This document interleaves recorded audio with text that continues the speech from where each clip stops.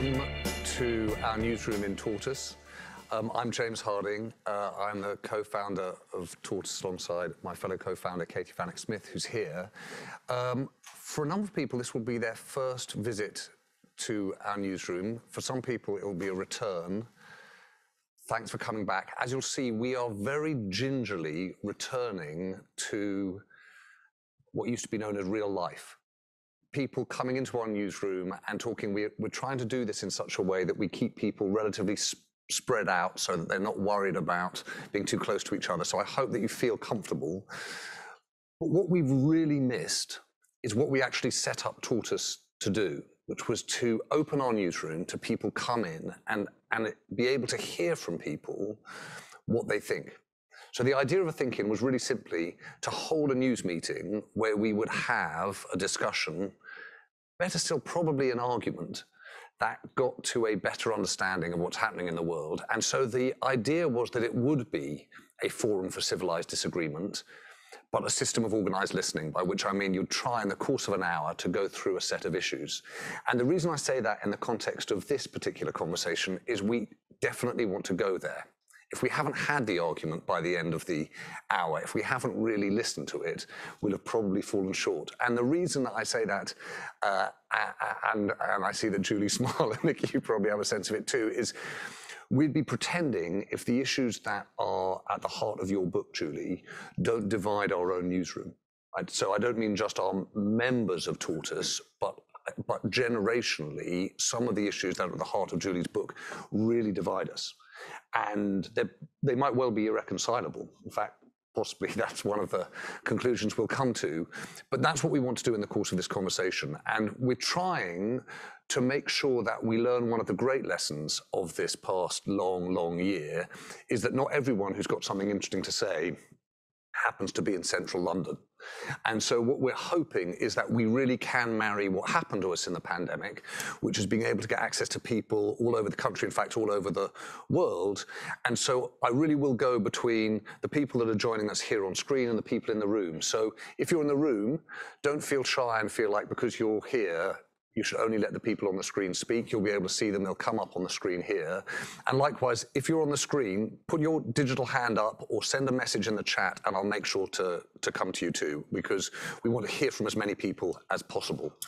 Um, I have one of the joys of doing this job is you get sent books in advance, and you can then, because you often get sent two, you get to do what you really shouldn't do, which is scribble in them and I've had an absolute field day with this book. And so I'm going to start, if I might, Julie, um, by just, this is ridiculous. I haven't worked out how to do this. Whether or not I read it to you, given that you wrote it, is going to sound a little strange.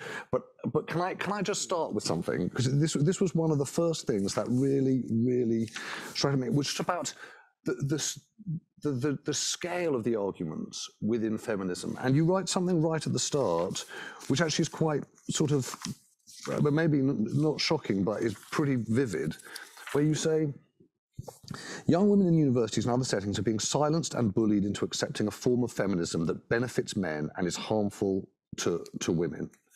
You talk about a feminism now where you've seen a greater backlash against the, the, the feminism and the liberation feminism that you speak of than you've seen at any time in decades. And I just want to understand why you think that is.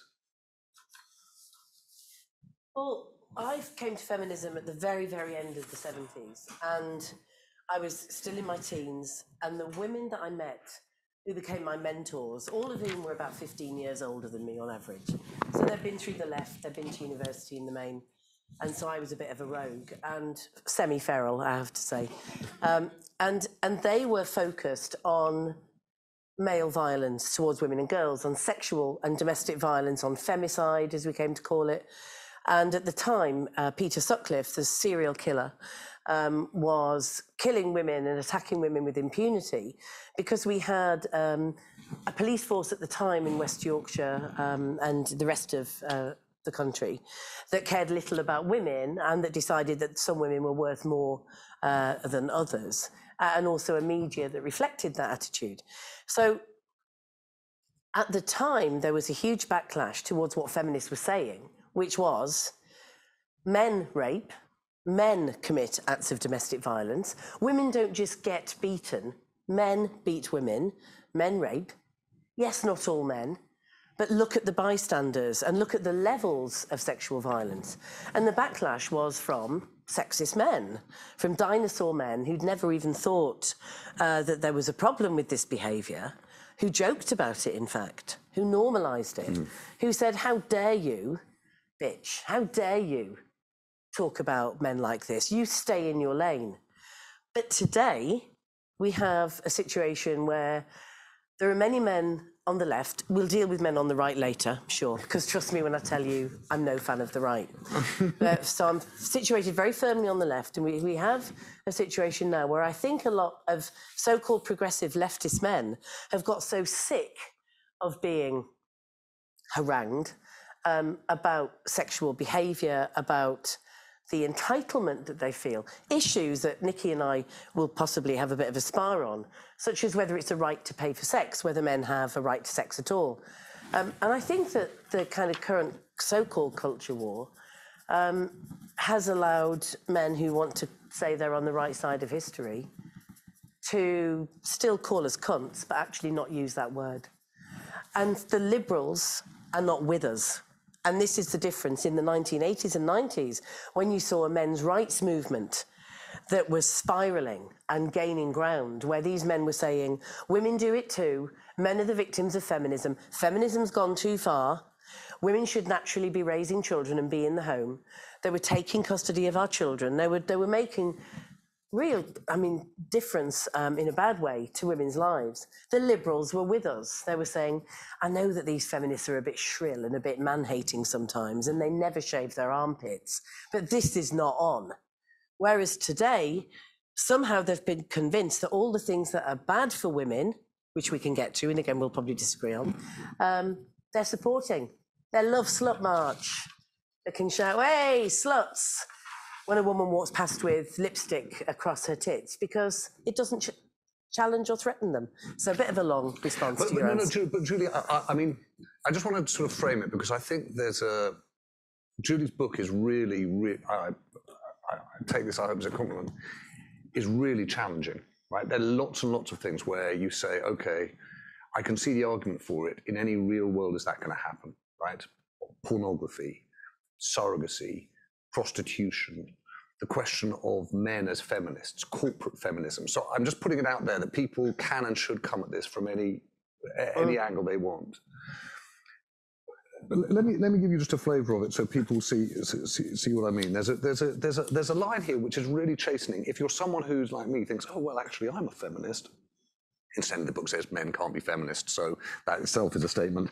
It says, We cannot stand by and pretend that contemporary feminism is about how many women are on the board of the FTSE 100 companies or about whether a girl of seven who wants to be a boy should be sent to the Tavistock.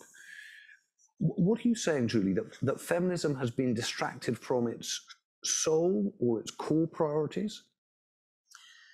What I'm saying is that we currently have a feminism that benefits more than it does women. That benefits men more than that women. benefits men more than it benefits women. So, so mainstream feminism or liberal feminism, um, the kind of sex work is work, porn is empowering, choke, being choked during sex is a choice, and we just need to know how to do it safely. Um, the kind of normalization or excusing of um, certain types of religious fundamentalism. Um, I, I think that you know we need to ask, particularly young women, the question: if you actually go along with these kind of mantras, who does it benefit? Who, for example, does it benefit to say, "Hey, sex work is work; it just pays better than McDonald's"? Who is the beneficiary of that? Um, and so the corporate kind of corporatized feminism is mainly US feminism, but it's also crept in here quite persuasively, where you hear lots of talk about glass ceilings and less, way less, about women in the basement, about women at the bottom. And that's why intersectionality, which has been subverted from its true meaning by some so called progressives, is the only way that you can understand something like prostitution. Because for all that there are those that say, hey, don't you tell me what to do with my body, and, and, and liken it to the right to have contraception and abortion uh, on demand. of course, are not thinking about the majority of those that populate the sex trade and where those women and girls are actually coming from and the backgrounds and the life trajectory that that they share. So, so can I ask you? I'm going to come to you, Nichi, in a moment, if I might. Just, just forgive me. I just want to go talk about this though. Sexual violence, men and sexual violence on the one hand, and then pay, representation, and power in the economy. And so, without telling tales out of school, I had this argument with Mandu Reid. We went for, mm-hmm. for lunch, and at the time, as Mandu running the Women's Equality Party, was saying, as she was going into the mayor, mayoral elections, mm. right, was saying, actually, no, the thing that we really need to keep focus on is violence against women. That is the central thing. And, and by the way, violence within political circles. This was just after, you remember that choking event in the Guildhall or the, mm-hmm. uh, you know. So it's like, is it politicians, people in public places are, are visibly acting right. violently towards women? And, and she had then in this number of cases. And, and I said to her, well, surely the, the argument around pay, I remember I just come out of the BBC, so the arguments around pay were really, you know, powerful and really, you know, energized people. When I read that, I was like, why, why can't you have both things? Why can't you be really a feminist that is driving after liberation in terms of, you know, sexual violence, but also around economics? Mm-hmm.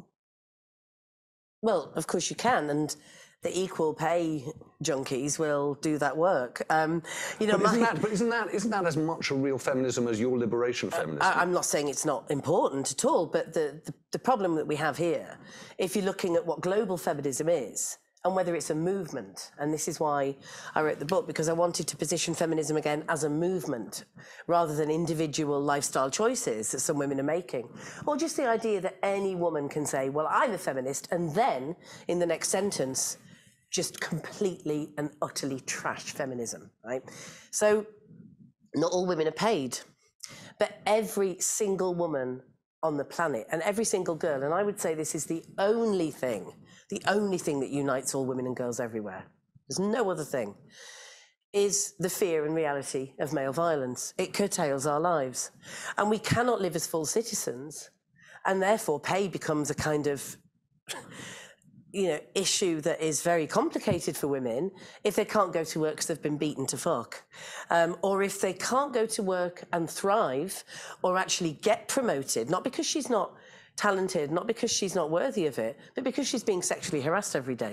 But so you're, so you're saying, Julie, that the, the, the, the key thing is it's not that all of those other things aren't feminist, but in the hierarchy of issues, male violence is the is the is the primary one. It's also the only one that unites all women into a global movement. That's yeah, the I, argument. I, I, wouldn't even hierarchy. I, I, wouldn't even talk about a hierarchy. For me, obviously, that's is my life's work. I think it's the most important issue facing women today, um, and I'm always happy to hear about other important issues that face women today. Yeah. But I would say, yes, it is the only thing that unites women and girls everywhere. And that has to be our movement. And I would also say that if we were to magically disappear all male violence tomorrow, um, a lot of other things would fall into place. Well, let, let, let, let me go. Let me go. To, I, I, hope to hear from other people soon, but I want to just make sure that there was a, there was. A, you may have noticed, Nichi, there was a kind of rat a tat tat of things that uh, Julie said in the middle there, which were around porn, around prostitution and sex work, uh, around choking if you do it in such a way that it's hmm. consensual. Mm. What do you say? I, I, appreciate there's something slightly synthetic about this argument because I suspect a lot of the stuff that Julie says you totally agree with.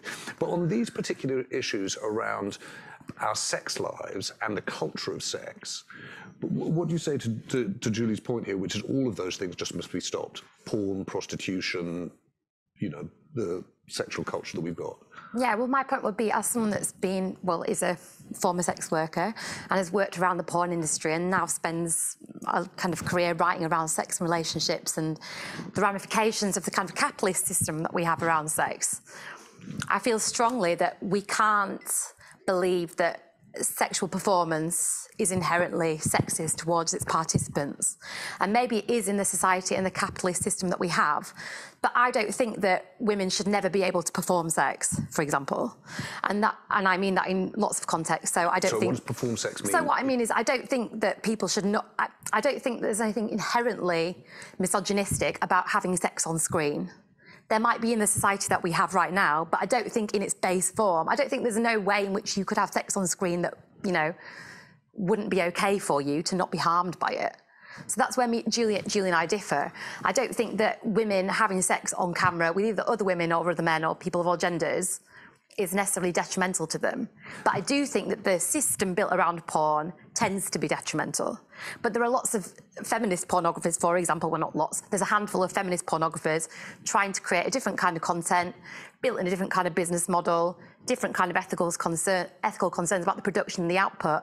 And I think they're trying to do something very uh, worthy in trying to kind of switch the model or present a different option for that kind of uh, participation and outcome. So, so, Nick, I'm going to try and, as I said, Julie, there's so many things in this book. I'm going to try and do something we don't often do in thinkings, which is just try and, if you like, segment things. So I'd love to do just 10 minutes on porn and just try and, uh, and eke out the differences here, right? So, because Julie, what's your view of that? Is it possible for there to be sex on screen as a form of entertainment that is not by definition in the interests of men and not in the interests of women?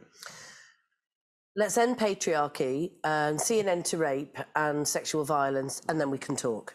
So, yes, I think that absolutely. Why would anyone give a damn if you were filming or being filmed for your own erotic pleasure um, in a consensual, completely equal uh, context?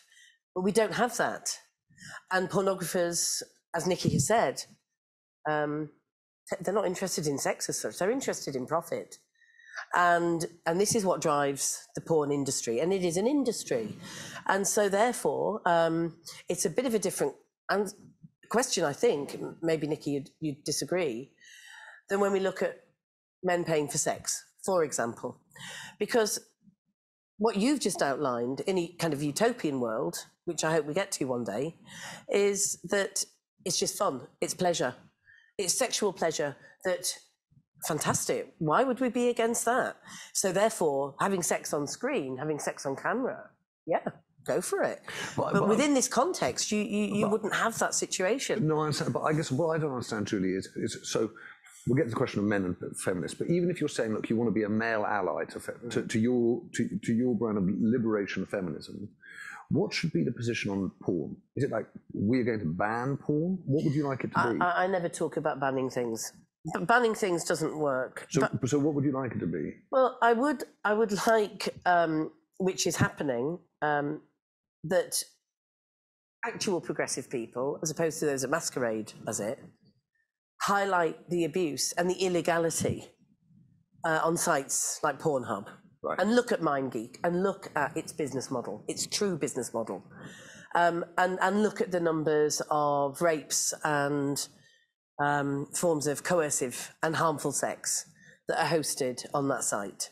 And I think we need to work towards a world um, where, and this really should be possible for all, us all to imagine, or we really need to ask why it's not possible, where men are not motivated to masturbate two scenes of torture and degradation of women, that that becomes separated from sexual pleasure and really scrutinized. And so when we hear about banning or censorship or regulation, often, unfortunately, it's put forward by conservative lawmakers who don't have women's interests at heart. So I don't have an, I don't really have an answer to this. What I want is the scrutiny of the porn industry and the truth to be told about the porn industry. Nichi, do you have a view on yeah, so I suppose what I would always think about when Julie and I talk about this or debate about it is there's a generation of women that have viewed content that Julie would think is completely misogynistic and detrimental, and maybe it is, but they've taken something for their own se- sexual self expression from it. And so, if we were to say to this generation of women that are maybe they're on OnlyFans or they're camming or they are making a living out of their this output, that everything they do is um, degradation, it's harming them, there's no benefits of them for them and for women in general, ultimately, that they're doing women a disservice. Well, they just don't, they're not, that's not their everyday experience of what they're participating in and the ramifications of it for them. And so if we say, well, that's bad. Well, what's the alternative that we're giving them? Because we certainly don't want to say to women, well, all self expression leads to some kind of misogynistic consumption. You know, it's, it's obvious that if women want to be sexual, they should be able to be sexual. Mm-hmm. But the mm-hmm. prism in which often they are participating doesn't make it that possible at the minute, but it doesn't mean that it's not a theoretical possibility. And we should be moving towards, as women, I feel that, uh, you know, being of that generation, being of that ilk of woman, we should be looking towards a future for, well, what, what does that look like and how can we make it in a vision that's going to be positive for women and for everybody, actually? And Nichi, how much do you worry that the sort of modern empowerment feminist that says, look, you know, feminists, feminists can be pro porn, pornography can be good for women, that that's all just a useful construct for men to indulge the stuff that Julie's talking about that Well, is yeah, it's, abusive and it's difficult to know because the women that I know that work in the porn industry who make the feminist porn, people like Erika Lust, for example, who has her own porn studio in Barcelona. You know, it's it's literally her and her vision, and she's made that stuff for years, and she works with a, a cast. They're looked after in a certain way. I really don't think you can say to Erika, "You're serving the male gaze." I just don't think she is. Now, she doesn't make loads of money out of her enterprise, but what she does do is she sets a standard that other women who want to make that kind of content can ape, and she's she's very important in showing us that there's another way forward. Now, it isn't receiving capitalist investment. There's a woman called Cindy Gallop who you might know who runs something called Make Love Not Porn. Julie, I know you know her. She was in advertising, and then she said, actually, all the sex I'm having with men feels quite pornographic. I don't like it. So what I'm going to do is set up this enterprise where people submit their own videos of them having sex, and then the viewers rate those kind of home videos, and it's all done in an ethical way.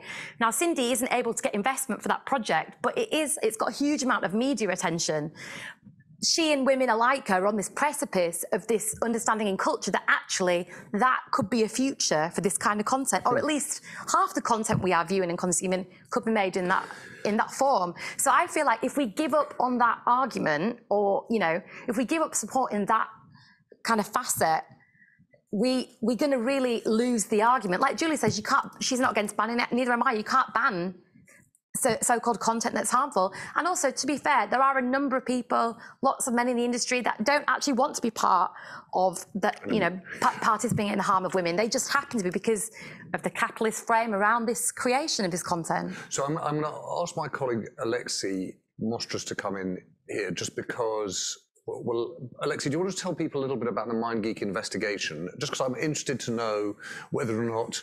Tell people what it did, and then uh, if you can answer the point that both Julie and Nichi are making about is there a, a different kind of business model, even regulatory environment that could answer some of the points that they're both making? Uh, yes, I mean, we, we decided to investigate MindGeek because uh, there was this sort of fundamental di- disparity. On the one hand, it operated uh, many of the world's most popular websites, like Pornhub is the sixth most popular website in the whole world. It's in, incredibly influential, um, and and yet it has had almost no scrutiny to it corporately, unlike Facebook or YouTube or all the mo- more well-known social media companies. But it's kind of on that level. But yet no one knew uh, who owned it. Uh, its its spokespeople used uh, fake names, and and all these quite serious allegations were emerging of. Um, that, that, that it simply didn't have the systems to, to prevent abuse, quite serious abuse. Um, so we decided to look into it with a specific focus on finding out who owned it, the majority owner of it, uh, and we, we did. We we tracked him down, and he was a he was an Austrian guy called called Bernd Bergmair. And we tracked him down to London, and we got to ask him some of the questions that some of the victims had had wanted answered, and and that was that was fine. But I mean, it it, it there is a real it exposed a real structural problem in the online porn industry because um, there were no con- there, was, there was huge demand for content, a huge number of viewers, and yet the system that was in place to serve them that content had no control in terms of preventing abuse. So when you saw a video, you didn't know whether the person was over the age of 18, you didn't know whether they were consenting or not, you didn't know if they were verified, you basically knew nothing about them, and it was a hodgepodge of uh, different porn studios tied together in an ecosystem that was incredibly opaque and you couldn't unpick it. And there was a massive, massive potential for abuse, not only kind of the illegal abuse that uh, the, the, the, the evangelical associations were focusing on, but very, very kind of worrying algorithmic abuses, if you want to call them that. So, for instance, there was a massive focus on on choking videos and on on painful sex and um, other other other kind of forms of sex where the the, the presenters could or, or, the the the people in the videos could say that they were consenting. It wasn't an illegal act, but yet it, it, there was no regulation or no decision making about what content was being served to to, to the consumers. It, can, I, can I ask you something? So the, so the idea of think-in, by the way, is that it actually drives the journalism. Something comes out of it. So we're in the middle of a process at the moment because Luke and Alexi write this weekly letter, the Text Date Sense Maker. And one of the things they wrote last week was about the OnlyFans site. There's quite an interesting thing, which is the bank steps in and says, look, we're uncomfortable with what is appearing on OnlyFans. Mm. The person who runs OnlyFans then steps back and says, look, we're going to change what we put online. And so we've started ringing around all the banks to say, what is your what are your guidelines in terms of investment in porn sites? But what we're struggling to find is what if you go to the banks and say, what's your guidelines in terms of carbon emissions? Mm. Right, there's there's a kind of set of scope three rules. Is there, as far as you're both aware, a set of guidelines that you think this would qualify as quote unquote safe, respectful porn? Does such a thing even exist? No, I mean, like if you if you look at America and look at Wells Fargo or somebody, somebody like that, for example, um, there was a there was a sort of moratorium a couple of years ago around porn performers in California. So some very well-known porn performers who were female had their accounts shut down more or less overnight because the banks decided that they were taking a moral position on adult work. Well, of course, it left these women high and dry. It was extremely abusive, I think, actually, and completely picking up the wrong end of the stick. Right. And I think we're seeing it now with sort of social media censorship of people that are uh, either involved in adult work or female bodies, or there's a very kind of cut and dry approach to how we deal with the problem of exploitation in adult content. And what's happening in my from my perspective and from what I kind of know about the industries that are doing it is that you've got a, a kind of bank of let's call them rich white straight men at the top who are making these decisions about women's bodies to get themselves off the hook so they are inscrutable mm-hmm. and there's no there's no actual examination or subtlety in the decision making about who gets policed and who doesn't and at the same time nobody is drafting in there's no liberal drafting in of well we decide that people have got a certain right to their body and therefore self self expression, all the rest of it. It's just we don't want adult content, so we're going to cut all these people out, and mm. it's leaving women high and dry. So, so if I might, to I'm going to bring in Nancy. I don't know Nancy whether or not you can hear us okay, but you, I, I just want to, as I said, I mean, we want to cut, cover some other issues, but I just want to get a, your thoughts on porn because I saw your point about the implications had in the, in the, not on screen in real lives in people's relationships. I just wanted to hear what you meant by that. Well, you know, from from my sort of work, I've worked for ten years supporting parents whose children were sexually exploited.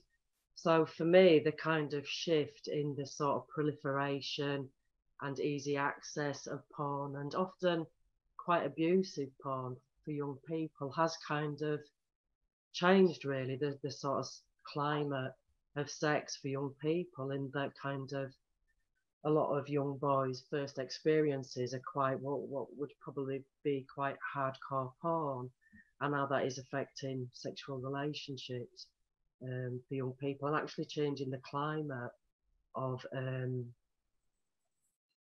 of what sex is, which you know yeah. it should be pretty enjoyable. It shouldn't on kinds of rape and abuse and stuff that kind of is taking power from another person. Um, well, and I think some of my concern a little bit is that is I know what interested me about this are the kind of factions and divisions and um, within feminism, but also in kind of a clarity of um, of a message or something to join us together. And for me, kind of harm, abuse, fairness, people sort of achieving their potential is the kind of uh, main thing for this really. It's what should be drawing us together is ensuring that people are safe and free to thrive. And we do have to look at our culture when when we're kind of young people, young girls are coming to kind of my organisation through the parents because they're having, you know, there's a lot of harmful um, early sexual sexual experiences that are seen as being normalised And Nancy, what is your organisation? Sorry. Um, so I work for the charity Parents Against Child Exploitation. So um, I support parents whose children are sexually exploited through kinds of online abuse or through uh, grooming gangs or through child criminal exploitation. Okay, Nancy, thank you very much. If other But, people, but I will I will add this. Sorry, I forgot about this. Is I think that the challenge is is that kind of you know when people get joy from causing causing others harm, Hmm. that that really to me is the barometer, and that's not changing very much for women or children in our society right now. Nancy, thank you. Um, if people in the room have got things to say, please just sort of catch my eye. Oh yes, oh, hang on, we were a couple. Liz, and there's someone right behind you.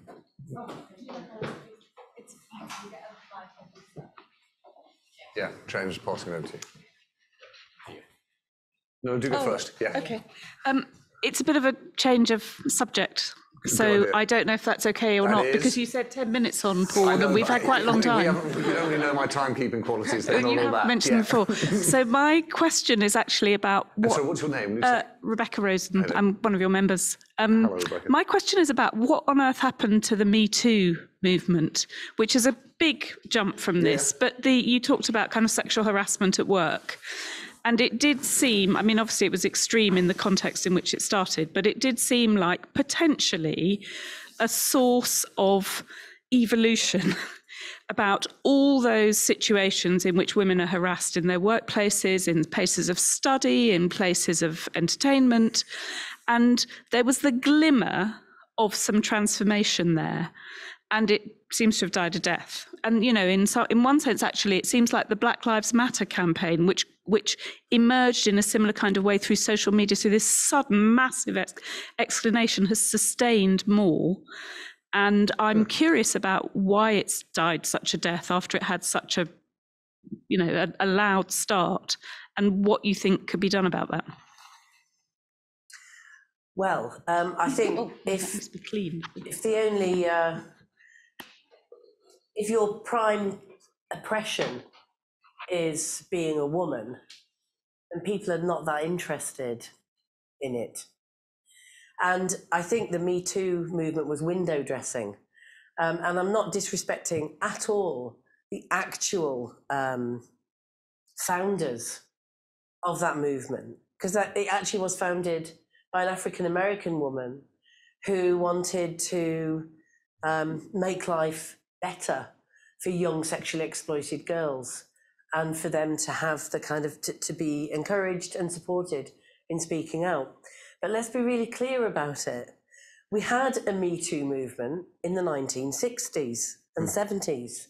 And this was when consciousness raising groups formed all around, um, I mean, certainly in the, in the global north, much of it, but definitely in parts of the global south, where women said, I was raped, where women said, you know, the very first book on child sexual abuse by fathers and other male relatives, um, which was written in the early 1970s, I was sexually abused as a girl, where women started to speak out about the exploitation and abuse that they faced in heterosexual relationships, in marriages, where it was exposed by Shere Hite, the sexologist, feminist sexologist, that women were getting a really bad deal in the scratcher, that men didn't give a flying fuck about women's sexual pleasure and that they weren't enjoying it, and that women were miserable and abused and oppressed. And that was the foundation of the women's liberation movement. So, what the hell are we doing 50 years later? Saying, Me too, we want him to. What about him? Right? Yes, women have spoken out. Yes, we've broken the silence. We broke the silence 50 years ago. Now we need to raise hell. So, where's the hell? Why are we still speaking out about our own rapes, about our own abuse? Where, where are the men speaking out about why men are doing this? And that is why I think that Me Too died a death because it was window dressing. It was yet another just list of women saying, I was raped, I was raped. I am so sick of hearing those stories. You know, not to disrespect the women who tell their stories. They're fabulous. We built the movement on that. but I want something to be done. I want men to be stopped from raping women. And that's it. Me Too is, yeah, loads of women. We've all been raped.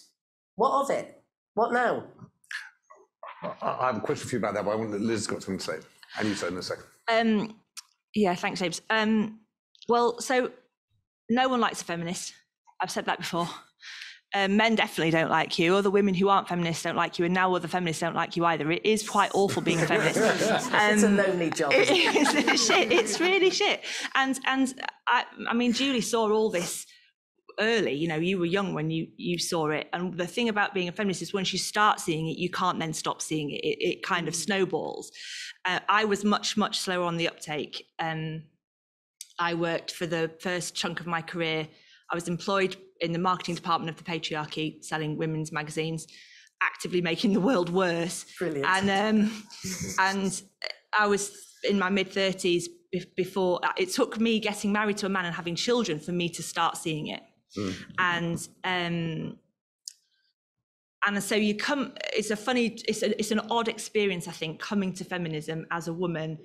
It is a gateway drug for lesbianism. It certainly was to me. So just be warned. um, that that that and, and that you sort of. If I started at the outside edge, right? So I started with the feeling of I'm pissed off about being talked over in meetings and passed over for, prom- for promotion and you know um, being underpaid relative to my male peers i started there. And it's a bit the nice shiny feminism where you kind of sit in the AllBright club and you light a scented candle and you empower each other to have a startup design a swimwear business. And, I, and now i'm as pissed off about that kind of feminism as i was part of it in the beginning. But uh, but, what julie's book is um, and that's my copy with the orange post-it notes stuck all on the pages is it's very it's very clarifying and it's very energizing um, as a because it is shit being a feminist and it's very easy to give up because I felt when I was reading Julie's book, I did laugh. There's, there's funny bits in it. Um, I also genuinely cried twice. Um, probably not the bits that I was meant to cry at, other bits, but um, I winced a bit, some some of it, and I, but I also was embarrassed. I was embarrassed for the kind of feminist I have been and, and times in my life. But look at me, I'm a well educated, white, able bodied, middle class, whatever the things are, I am a feminist.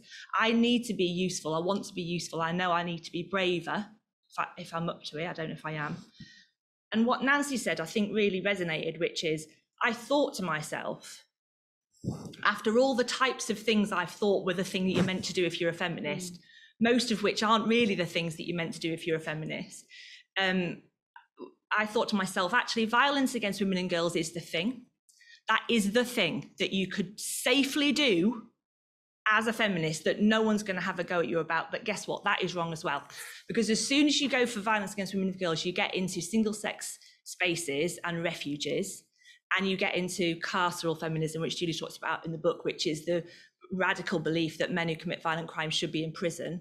Apparently, is not okay. So, so there's nowhere you can do feminism properly where people aren't going to hate you, and that is a real problem for the movement. I Okay, okay, think. but can, I, can I ask you, okay, I'm, I, I, I do want to put, put, something in here, which is just to say, and there are two people in the room, and there are a number of got view three. I'm going to come. But just for a moment, I just want to say there is a, there is a there was a moment, Julie, you may not remember, about a couple of years ago, we held a festival, right, and. And one of the debates was along similar lines, and I was sitting in the back corner, and I think you, you, someone asked, "Do you think there's been progress for women in the last thirty years?" And I sort of, you know, leisurely put my hand up. You could see the whole room turn around going, oh, you so heroically out of touch, right? But just, but just for a moment, let's just point out something, which is there is a, there is a problem here, which is if you say as a man you're a feminist, right, or you see progress in this side, then either it looks as though you're a sort of unwitting defender of the patriarchy, or it can look very performative, or as I say, you, you can look as though you just don't really understand the depths and the, the fishes, all you talk about. But actually, the fact that we're having this conversation, there's an understanding of all of these different gradations of uh, feminism. I should be perfectly honest, I love my dad, I really do. But generationally, right, he wasn't in tune with this. And so the conversation that you were talking about in the 60s and 70s, right, that was a radical fringe conversation. It may be that we are we have a a, a movement that kind of slipped onto Twitter and then sort of drifted away in terms of Me Too. But, but the extent to which there is there is a, a general understanding, certainly even in newsrooms, in mainstream newsrooms now, that we have a massive problem in our criminal justice system, in our justice system, right? That, you know, the thing at the beginning of the book about 1.4% rape convictions, that's a mainstream set of ideas.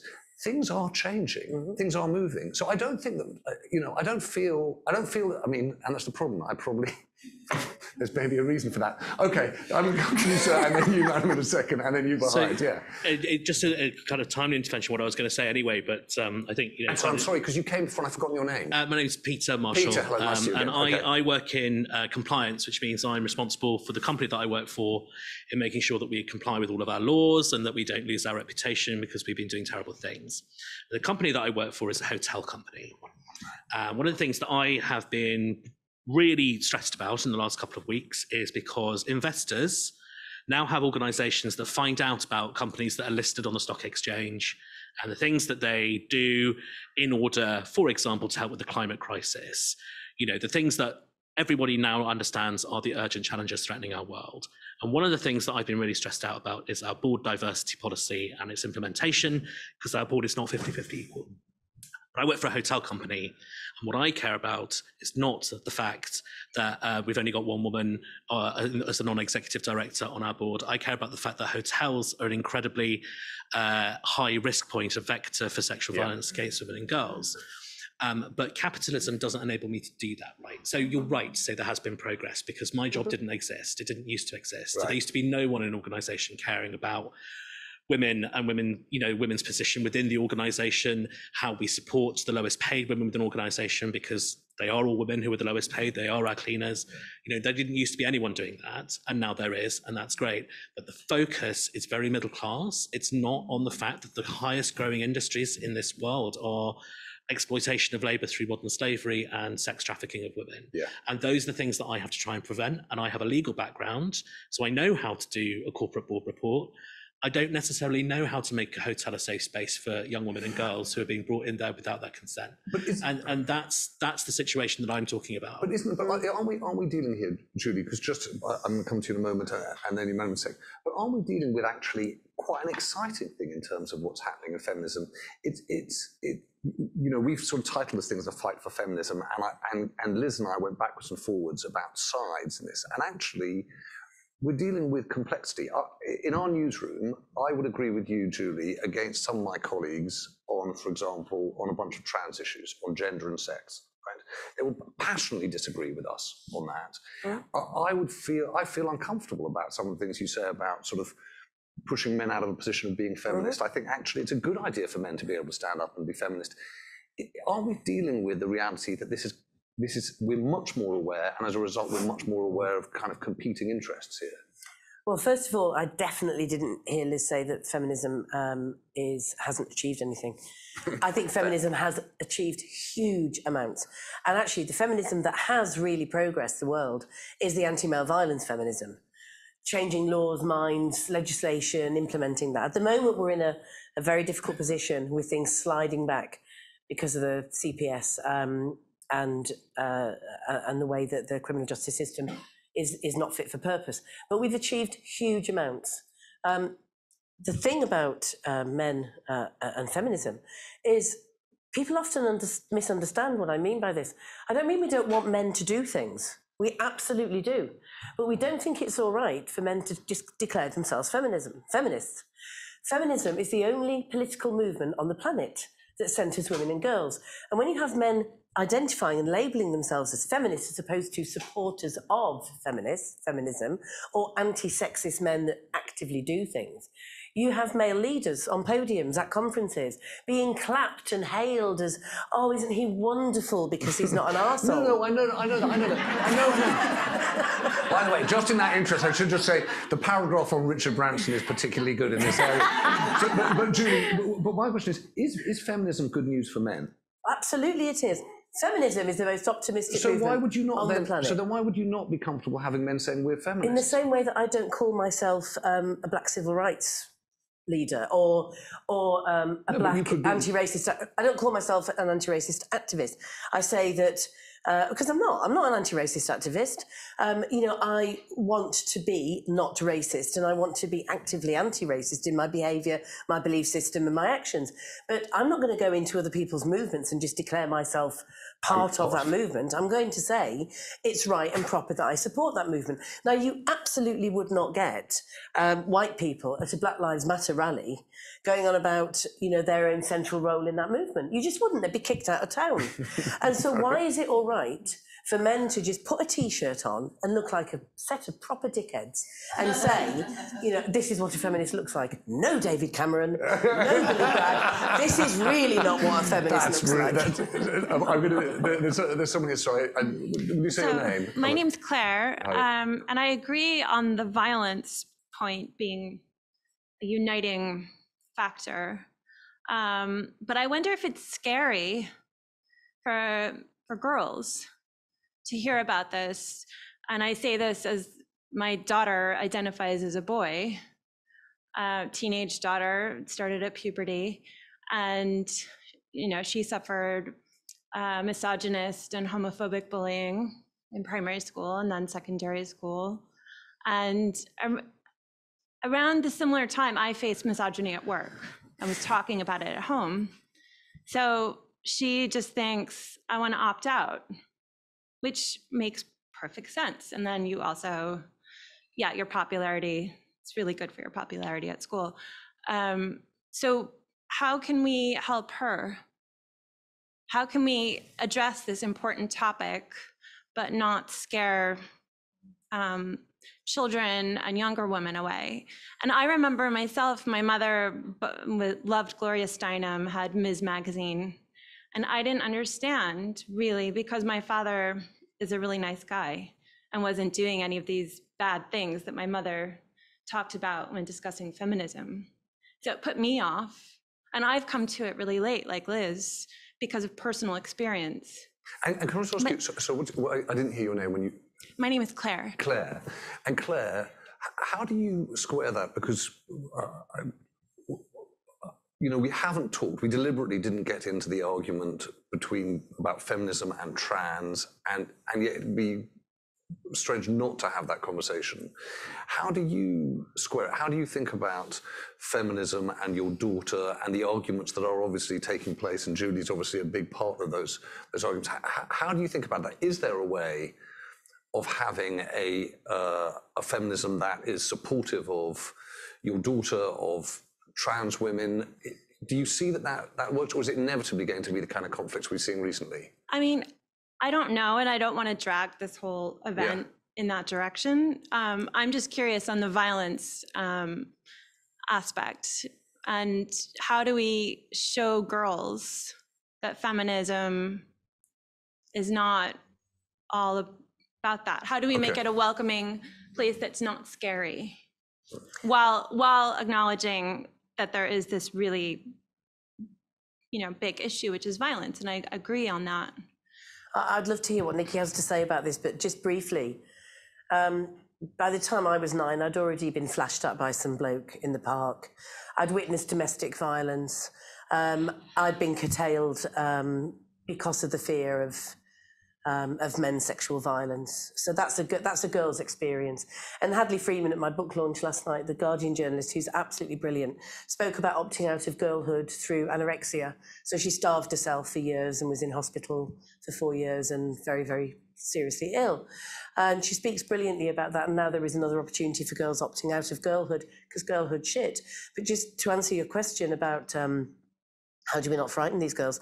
There's a whole chapter in my book about, you know, dispelling the myth about how feminists are the ones that frighten uh, other women by going on about male violence. Unfortunately, your daughter will already understand that. So feminism can give her an opportunity to feel courageous, supported, and that she can be part of a movement, or at least have the benefits of a movement, which is feminism, that will seek to end the shit that girls go through. So I think it's the opposite of scaring girls.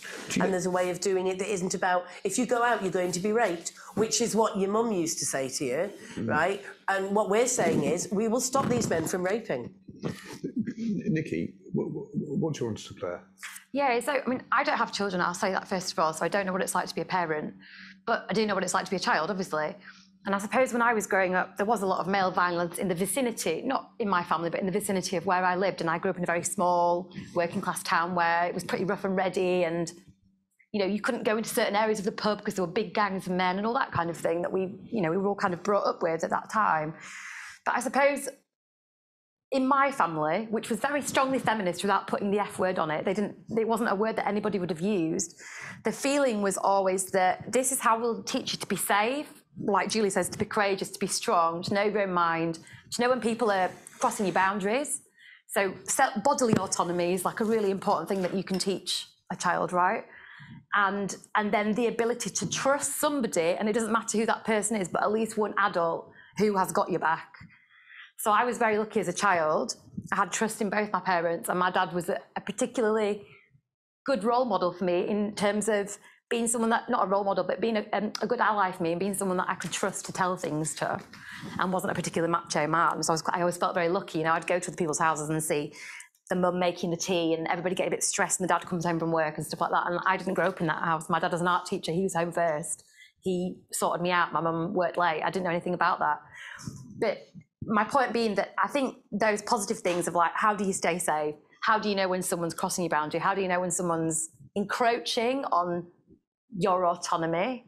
I think all children can be taught that to a varying degree. And I know that in education now increasingly we teach children that from like the age of four, like if someone touches you or approaches you to touch you, you don't let them do certain things or you tell someone.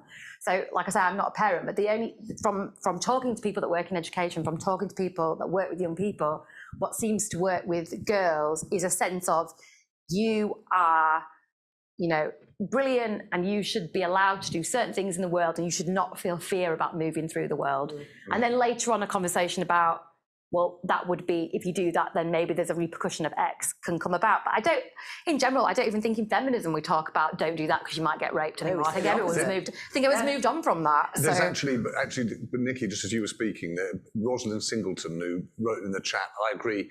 I also think young girls see things and are aware, and it's less frightening to actually talk about the fact that stuff isn't her fault, even when very young yeah, they have right. to put up with so much and very, crap. very important because mm-hmm. people sh- people give you their shame without them realizing it. Mm. I mean, you know. Nichi, I, yeah, I'm forgiven sorry, for interrupting. Yeah. I just wanted to make sure I brought in a couple of people who are not in the room. But Yasmin, um, first, it's very nice to see you. But you made a number of points around these the labels, the way we talk about ourselves and each other. Hi, James. Yeah, I just think I've personally become less and less interested in, in what we call people and what people call themselves because it's much more instructive to look at what people do right? And I think there's so much focus on the semantics. It's become almost like an aesthetic. And you can argue about, you can talk about Instagram feminism, you can talk about whether men should or shouldn't call themselves a feminist.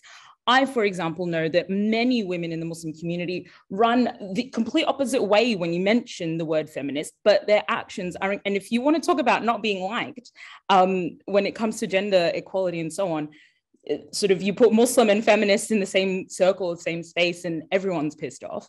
But I think it's much more instructive to look at what are people fighting for and what are they actually doing. How are they using their power? How are they organizing? Um, what are they doing in their day to day lives? How are they treating people in their families and so on? Because what happens is people call themselves a feminist or they run, they're the CEO of Time's Up, and then their son ends up getting accused of sexual assault. And it's like, what's the point of all these labels if they're constantly being eroded, if they're constantly not mm-hmm. being used? I frankly don't care. I frankly just want to see you do things. Yeah. So Yasmin, Yasmin, thank you. I, am going to I'm going to do one thing just at the end. We very deliberately didn't start this around the arguments on trans, right? But it would be a an oddity, as I said, not to do it. And I appreciate Claire, you weren't trying to drag the conversation in that direction either. But, but, but and I understand. But but forgive me. But it's it is a real argument in our newsroom. We are really divided, and we have different points of view, and it would be odd not to just address it. So I just want to read a section from your book, Julie, mm-hmm. and I just want to ask the people in the room whether they agree or disagree with this. Right? So Julie writes, at the same time, women are under pressure to deny the biological reality of our bodies and to use terms such as chest feeding for breastfeeding and front hole for vagina. Even the term woman is in danger of becoming obliterated in favor, of menstruator, womb haver, and non-man. And, and then goes on to the, the uh, to the point that I made earlier about young women in universities and other settings being silenced and bullied. Who here agrees with that concern that Julie is voicing? Right, please, please do, yeah, raise your hands if you agree with that concern that Julie's voicing. Feel free to put your hands up so I can see them all and so that people at home can see. And who here disagrees? Feel free to put your hand right up. There it goes. There it disagrees. Now, can I make a point? Right, these the, the could you, those people who disagree, put your hands up. Put your hands up. So, Julie, what's going on here? Because these are my colleagues, right, and they're all all in their 20s. So, uh, what's happening to the, your feminism that is fundamentally at odds with a new generation of extremely, you know, committed progressive people? Um, I was really delighted at my book launch last night to sign um, well over 100 books uh, for women in their 20s or younger. And I get contacted all the time by young women, um, I mean, weekly, who say things like, um, We want to talk about this because we're not against trans people at all, but we are concerned about the way that it's being used by some um, that hold extreme, so, so the extreme transgender ideology. So if we can actually look at what the question really is, this isn't about whether or not we want to include trans people and fight for the liberation of trans people to live as they wish. This is about the backlash against women when we speak about particular issues that are pertinent to us. And I'm the opposite of a biological determinist. I mean, I, I want to get rid of, of, of gender. Uh, that has to be the feminist project. Um, I have no idea what it feels like to be a woman. None at all. I just know what it feels like in relation to being treated um, by men in particular ways. so, so I think that w- what people often confuse is because obviously the whole narrative is they're just transphobic feminists. She's a transphobe. She hates trans people. If you say something as Chimamanda did, which is trans women are trans women, and I will fight for their liberation. So if you don't go to the extreme of, well, trans women are literally women, then it's so easy for the slur of transphobe. And when um, when I have uh, questioned young people that have been very kind to get up early in the morning to come and pick at me at certain events for a nice warm welcome, and I say, please, let's have a conversation. What is it I've said that offends you? Um, most of the time, they've never read a word I've ever written. And, and I think that this conversation has to be um, it has to be a debate. It can't be a silencing of one side of the argument because it's supposed to be hate speech. It isn't. But, they, but I don't know whether or not Phoebe or Patricia or Laura wants to weigh in, but actually, in my. Or, or Claire, do you want to weigh in? Yeah, there's Phoebe. Because I think Phoebe has read a lot of what you've written. I have read what you've written. Excellent. Um, and I make an effort to read around. I think in the same way that, um, you know, I think a- a- anything that you you kind of get involved with mentally, and, and this is something that I do get involved with, is that you should read as much as you should, and you should take both sides and, and be aware of it. I think where it becomes really hard for me is, and I and I know that the personal shouldn't affect me. Journalism is what I love, and I know I shouldn't do that. But I have a friend who has just come out as trans, and I have really, really struggled to see, and it's not you, it's other people who have taken this idea of trans people and turn it into something vicious. And I have seen them be verbally abused in the street.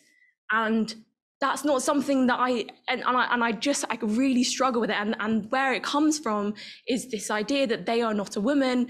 And that that's hard for me to see. And I then I get like messed up in my personal side and I understand the wider viewpoint and we can talk about ideology, but this is quite a safe space mm-hmm. and they are not in a safe space. Mm-hmm. So that's where I find it really hard when we start talking about safe spaces for women because that, those arguments are then making it unsafe for trans women and then you get into real messy situations.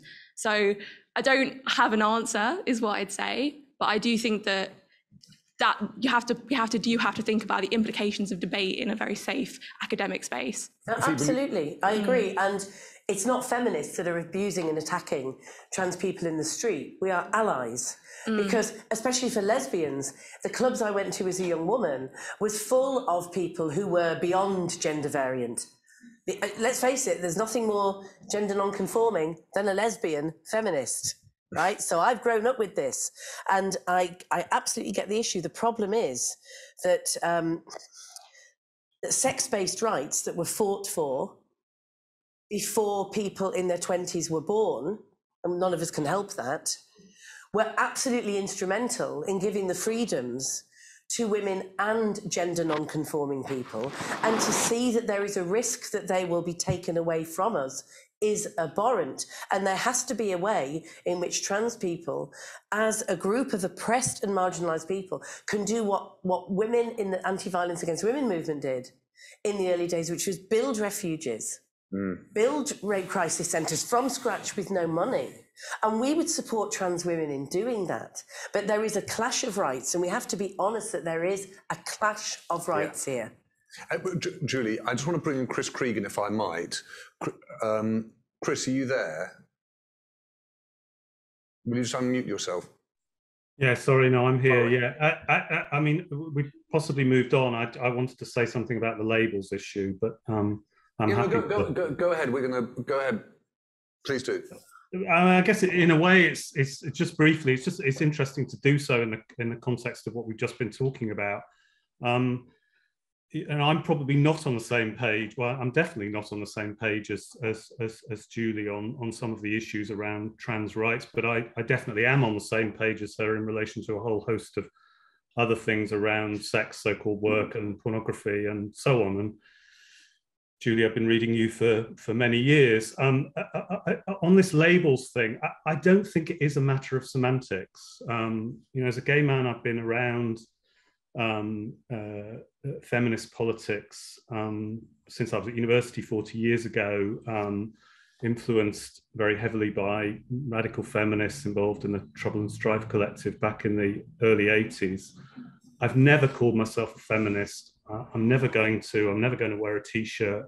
I just think, you know, we don't, as men, we don't have to appropriate and own everything um, we can we can we can be supporters um, you know for, for goodness sake um, and i think there's a real problem with you know you put on the t-shirt or you do whatever you do you position yourself in a way that somehow excludes yourself from the problem um, and if the biggest problem is male violence and, and i think it is and it's huge and it's pervasive and it's global um, then somehow you know when you say you're a feminist actually you're kind of you're kind of letting yourself off the hook. You know, you're somehow saying you're not part of the problem. And, you know, for as long as patriarchy exists, um, and sadly that seems to be a long way into the future, all men are part of the problem. You know, all men, absolutely all men, are potentially part of the problem at any time. And so I don't think it is just a matter of semantics, because I think I think what you're doing when you're saying you're a feminist is somehow you're you're kind of defining your role and your place and your agency in the world in, in a way that just isn't appropriate. Chris, thank you. Um, I, I, say thank you. Um, I would love to have that conversation. I really don't agree. Um, I really don't agree because if you believe that that feminism is a good outcome for men, and if you believe that the end of the patriarchy is a good outcome for men, then it surely does matter where you stand on this. And I don't think that is an appropriation. I think that's an engagement with issues. So I, I don't agree, but I think it's really, I feel like, oh my God, that's a whole kind of breakout room. I want to just bring, if I might, just Katie John went in. If it, it, Kate, are you there? Because you said the thing that I absolutely loved, which is I agree and I disagree sort of summarizes my position on the whole thing. My cat wants to speak as well, but um, no, and I did not put my hand up to speak. I just threw it in the chat because I didn't want to derail this in any way at all either. But I, I, am the kind of person who likes to engage outside my echo chambers completely. Um, I live two doors down from Linda Bellos, so Julie will imagine the interesting conversations I have with Linda over the fence regularly. So but but Linda and I have been friends for 15 years. Um, Julie and I both spoke at separate panels at the Women of the World Festival last year. So, you know, an example of something like that that, that Jude Kelly runs, the Women of the World Festival, is a place where um, the, the, the- there's a broad definition of women and allies and men in the sense that they're all welcome and included at a festival like that. And, and I think there was an interesting term that Julie actually did use there, and I have also read a lot of Julie's works and went to the um, oh the, the the Helen's panel on difficult women at Women of the World last year as well. Um, but what um what comes to me around this is the fact that Julie used the term gender non-conforming people uh, as one of the phrases she just dropped in about five minutes ago. And I thought, well, hold on, GNC people, it's another label, I know, but it used the word people. And for, for many people, they have a very strong identity with man or woman. And absolutely, that's what they should run with in life. And there are other people who don't have a strong identity with a gender. And using the word people to me is a very good label solution for that one. And it, and it gets around this kind of um, whole argument that there's a kind of an occupying of other people's language and labels. And this is where we come to when there's the that was read out of Julie's book around the the language. Let's like reinterpret all the language to be inclusive around people who bear children, rather than actually calling them mothers and women, which I have absolutely no problem with. So to me, I prefer additive terminology rather than replacement terminology. You know, trying to find, you know, um, wording that is inclusive rather than um, replacement or exclusive. And then you can easily, very easily go to um, a a refuge shelter that is inclusive, and there'll be some that are exclusive. And I'm okay with inclusive and exclusive language because it gives you a very good understanding of whether you would be welcome there or not. So I don't believe in it in taking something that already exists in that sense. And I know that, and I quite like the phrase um, that, that don't don't use the word woman because it's been taken. And I'm okay with that language, but that also gets me kicked out a lot of trans circles for even voicing an opinion. exactly. So I, I get my ass kicked from both sides. Um, Welcome to my world. Katie, thank you, thank you very much. Um, there, uh, uh, part of the joy of actually getting back together is that we're back together. We get the chance to do this. It, it is actually this is the second time that we've actually had a think-in where we're both in the room and online. And uh, as you can see, we're struggling, but mostly because it's such a pleasure to be able to see people and talk to them, but also then hear people who couldn't make it and join us. That's a very long-winded way of saying I'm 10 minutes over. so I'm sorry that I've run a little bit over. At the end of a think-in, as you if you've been to them before, it's the job of the editor to pull it all together and say this is what this all means. Feels to me that probably in the better interests of hastening the end of the patriarchy, I don't do that on this occasion. and I'm going to leave everyone to continue this conversation. There is one other thing you can do, other than kind of weigh into the discussion with Nichi and with uh, and with Julie, is you can also pick up a copy of uh, Julie's book. Um, so if you do want to, Julie will sign. One thing to say, if you're at home and you would like a signed copy of Julie's book, please message me and I will make sure that that message reaches uh, Julie so she can sign a copy of uh, her book for you as well. Um, on that note, uh, I want to say thank you to all of you for coming here. It really does mean a lot to us to get the newsroom back and alive and hearing from our members. A big thank you to you, Nichi. A massive thank you to you, Julie. Thanks to everyone who's joined us online. Just to let you know, we dealt with probably, yeah, I think we dealt with two out of the eight questions that I had. So I think we did better than usual. Not bad. Okay, have a good evening, everyone. Thanks so much.